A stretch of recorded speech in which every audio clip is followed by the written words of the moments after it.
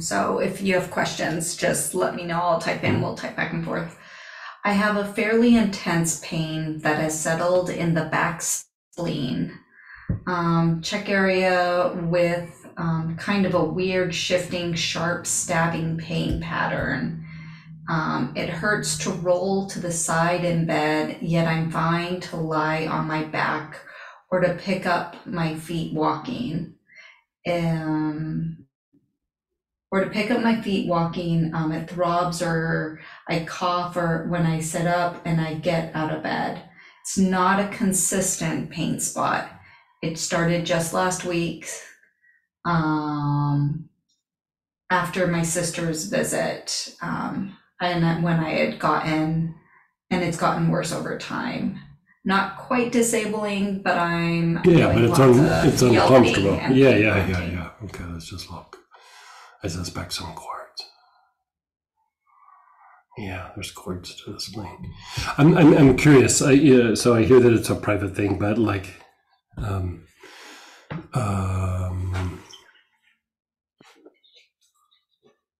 oh, um, Ow! i- is is that Babette?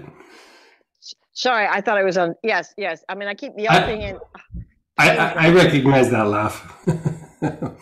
um, wa- was she going through a hard time or like health issue or emotional thing or something like that? she's going through a real hard time. Um, she's she's she tells me that she's good, but we both know that she's really not good. And she she did not like the smell of Melissa, which I thought was not a good sign.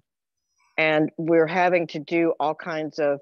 She's being she's being incredibly gentle with a business me the business ignoramus and and I, for which i'm really grateful but i think it's it's really hard on her to not yell at me about you know what do you mean you haven't done xyz we talked about it six weeks ago and it's like ugh Yeah, you, you look like you have some cords. Like I'm going to cut them right now. and Let's just see if that changes it.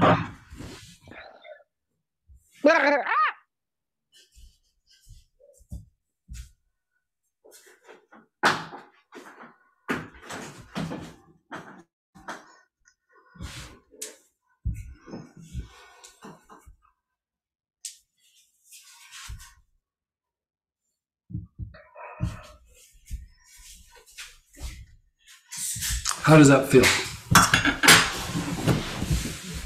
it feels uh, a little better but it's still one of those it's it, it hits me at un, i just i'm thinking of it as the lord teaching me to appreciate other people's pain and in terms of back pain. And so it's like oh yeah more compassion. I will have much more compassion in the future. You're always funny about stuff. but it seems to come and go and sometimes Yeah, it's fine let- when I let's- walk but it does like pressure it definitely likes to have me put a keep a Mm. pressure point on it right under those right under the ribs there three quarters of the way around the back Ugh. Yeah. Um, do you have etheric cords or ironbark eucalyptus? i do have etheric cord a bunch of it and both Yeah. yes i have both a bunch Use etheric cords, inhale it a bunch, and think of your sister as you're inhaling it. oh i will be happy to do that Yeah, yeah. any and anything with the roux or anything I, I think you just need to clean things up.